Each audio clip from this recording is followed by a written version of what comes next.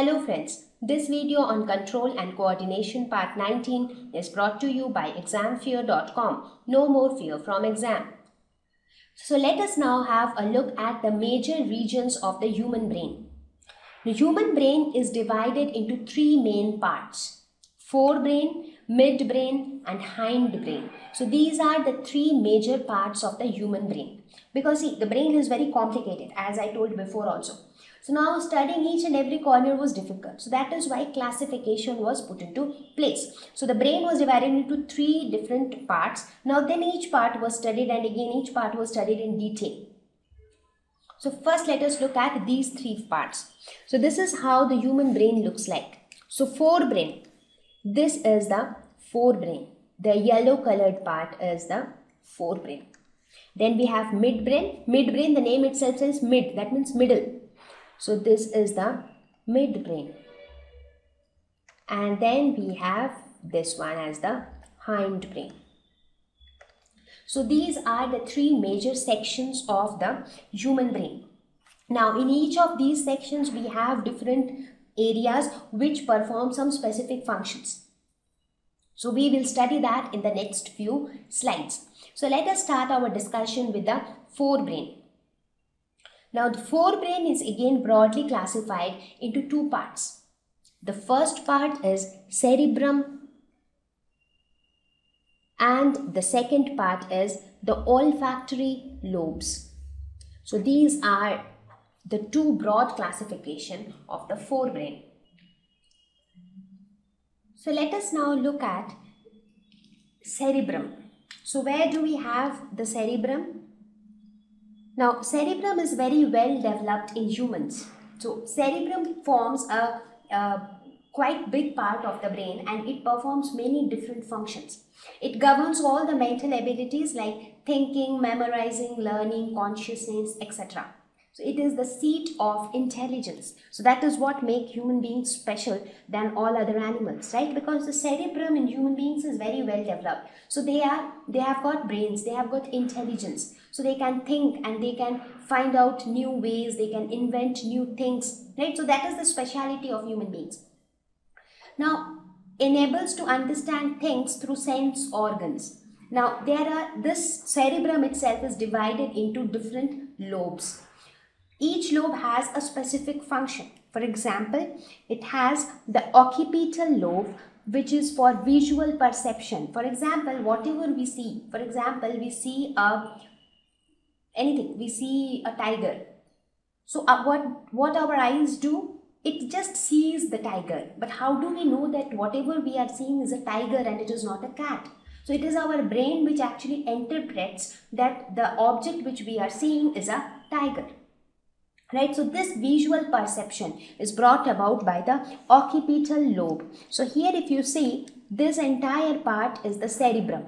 This entire part is the cerebrum. So in that this green colored region is the occipital lobe so this is the occipital lobe which is used for visual perception. Next is the temporal lobe which is for auditory perception. That means whatever we hear, how do we know what we heard?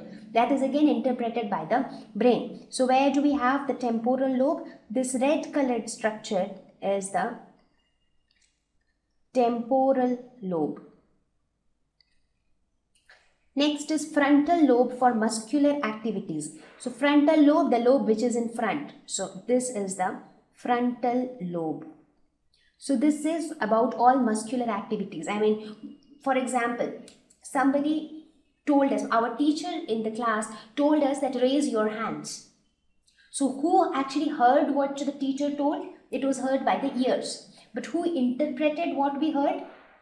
The temporal lobe of the brain. So the temporal lobe of the brain actually understood what the teacher told. So now the brain will have to instruct the muscles of the hands to raise the hand. So which lobe will instruct? The frontal lobe. The frontal lobe will actually instruct the muscles to raise.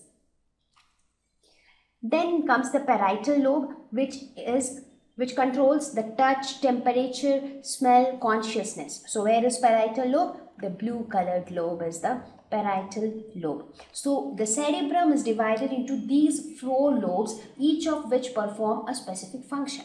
And also the cerebrum is the seat of intelligence. So we think, memorize, learn, all these things comes out of cerebrum. And this is very well developed in humans. The other part is the olfactory lobes. It is present in the bottom side of the brain. So in this picture, I mean this view of the brain, how is this view?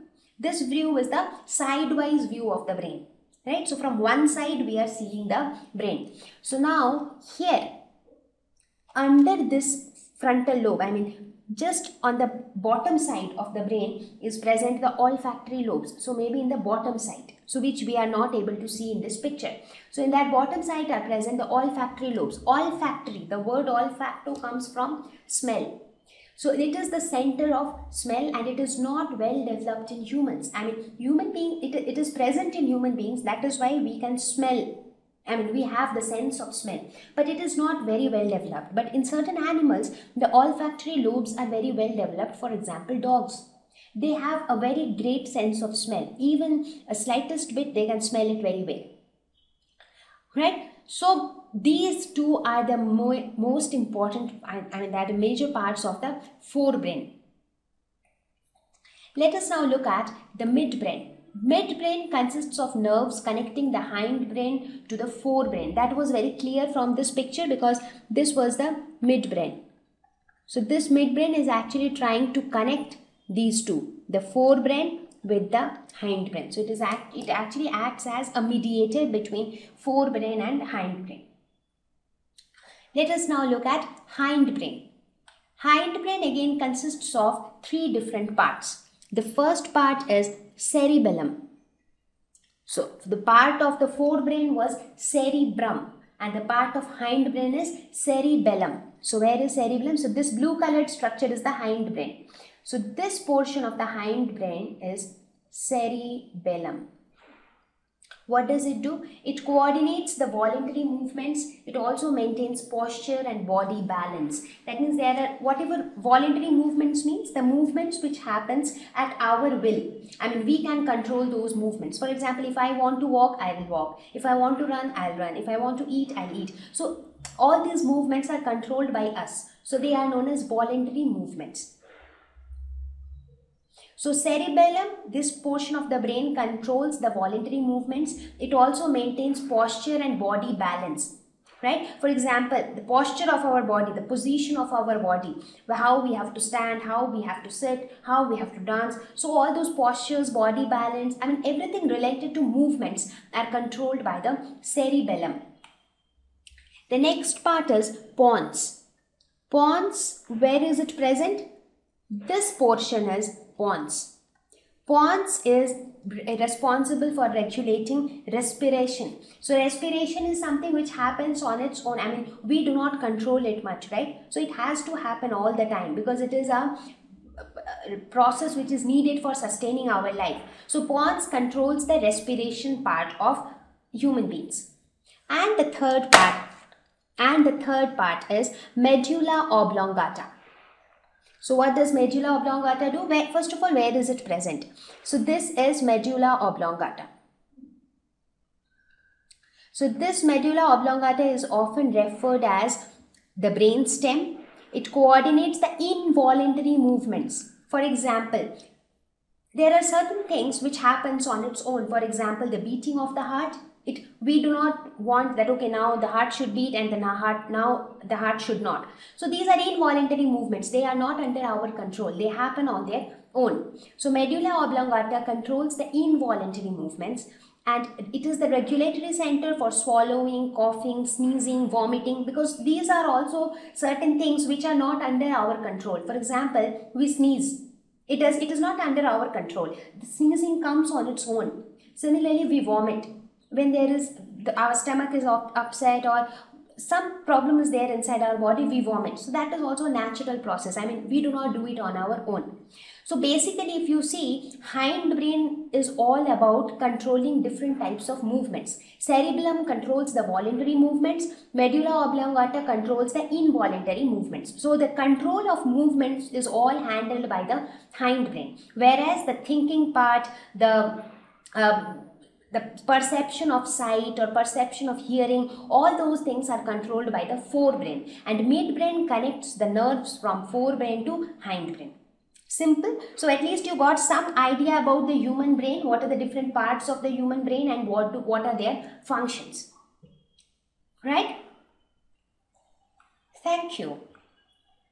Please visit www.examfear.com to watch more videos attempt free online test, get free study material, find tutors and mentors. Thank you once again.